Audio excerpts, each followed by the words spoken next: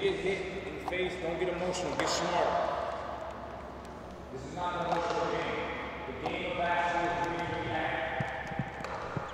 The worst decisions you'll ever make in your life is when you're making them when you're in an emotional state of mind. Okay? It should make you smarter to compete.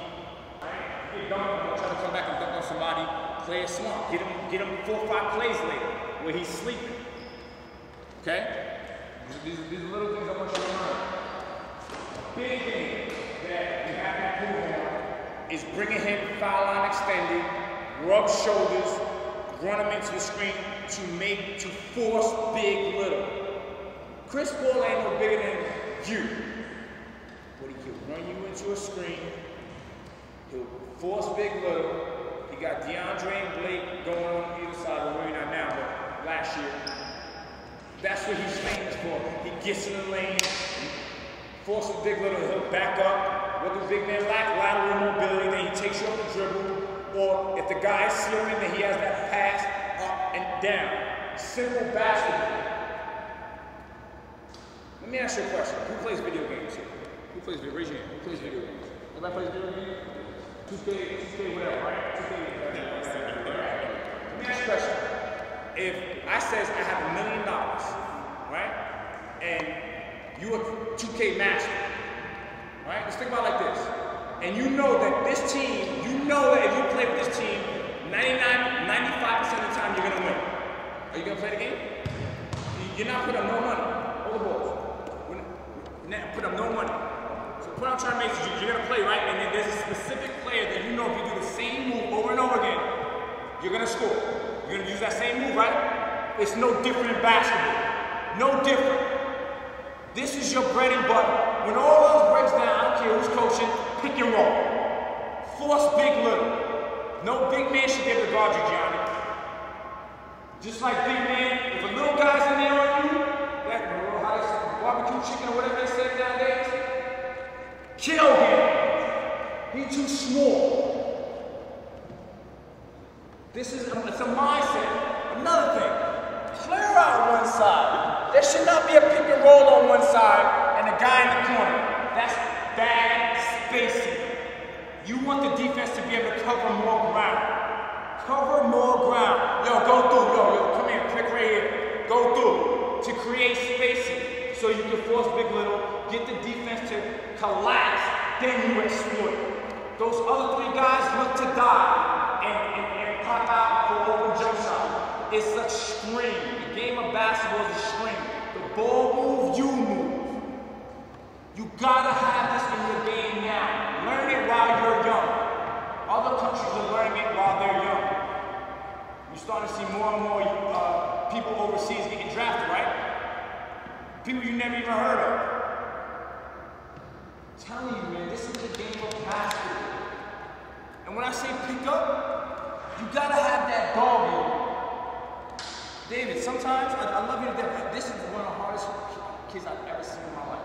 I've seen him like four o'clock in the morning with dad, four o'clock in the afternoon, every single day. It's like unbelievable. And there's, a, and there's a reason why you're going to UCLA, and you deserve to be going to UCLA. But there's times, David, you see a guy that you may be a little bit better than. You play that, um, whatever. Get in him. Because remember, you may be the man this year. Not, gonna initially walk in with the red carpet at UCLA. I'm being blunt with you because I love y'all. Every single one of y'all, I'm gonna tell y'all some things that y'all may not want to hear. Alright? You're not gonna want to hear this.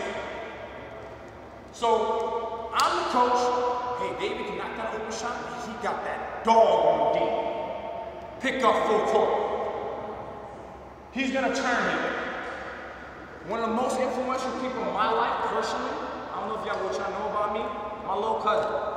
We came out here, we came out here. He's trying out for the Lakers. I'll never forget it. He's, he's nonchalant, just came back from Greece, you know. The layup line, and I'm with all these Lakers scouts. This is a true story. Guy goes, ah, he goes to the roster, and I'm sitting there going, to him. He goes, oh, Smush Parker. He said, oh, he's, even on this summer league team. I was like, what? What? Stood up in the stands in Long Beach and Smush. The home is too full. I was like, let these people know. I didn't say that term, I said in my own term, but let these people know. Then he started windmilling, going crazy on that line. They're like, hmm. Didn't play till like the two minutes left in the first half. First play. First play, snuck it on the kid. Kid took the ball out, guy took the ball out, passed the ball in. Smush came right underneath. The guy, the point guard threw the ball up in the full court. Smush picked his pocket. He, he wasn't, there was no communication. So now the guy, Hakeem Ward, who just came, who just checked the, uh, passed the ball, the, the inbound play, Smush took one dribble, came underneath, boom, and one, windmill. I was like, oh! But it wasn't even about the dunk. Dunk was amazing. The, the opposing team's bench, including the coaching staff, was all like, ooh. Point I'm trying to make to you is, you're gonna have to do something that's going to excite the crowd and make those coaches play you. And it's through defense. They said he's lucky to be a mixed team. Don't let them get the ball past half court. I'm not calling out no names. There was, there was like eight plays in a row. Smush did not let that guy get the ball past half court. We talking about NBA Summer League. Pick this pocket, pick this pocket, pick this pocket. Create your own offense. You gotta earn it. Ain't nothing gonna be given out here. There's no, there's no red carpets in this game, especially at the next level. Third game, you come out, scoring like 15, 16 points a game, coming off the bench. Come after the game, one of them St. Croix, he goes, oh James, uh, we, we, always go eat after the game. He goes, oh, some guy named Mitch Kupchak wants to talk to me. I'm like, who's Mitch Kupchak? I'm like, oh, whatever. Get the address, we go. El Segundo walked in his office, I was like, oh God, this is the guy. Turned into vet camp, got invited to vet camp, became a strong point for two years. You ain't never heard about Smush until he earned it. Don't let him get the ball past half court. That's what's gonna get you y'all checks. Create your own offense. Don't rely on the coach to call a play for you. That's your play. I took his, I took his, I took his cookies. And the more times you can make an offensive player turn, the more tired he's gonna get. It's a mind game. That's why you gotta develop your body, develop your mind, so you can play that defense. This is what basketball is about. Nothing is given. You guys gotta continuously work on your game. This was a good session.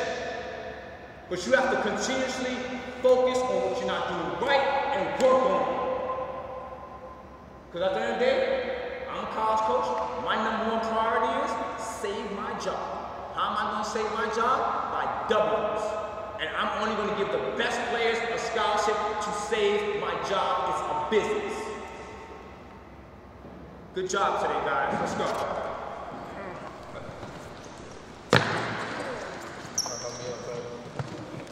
Hey, yo, really good today. Listen, thank God nobody got injured. Got better today. Let's continuously build on, and uh, maybe we'll go back next next Sunday. All right, you ready? One, three, one, two, three, together. One, two, three, together. Good job, guys. Oh, guys, guys, guys, guys, guys. Do me a favor. There's no maids in here. There's a whole bunch of little waters. Right there, right there. Whoa.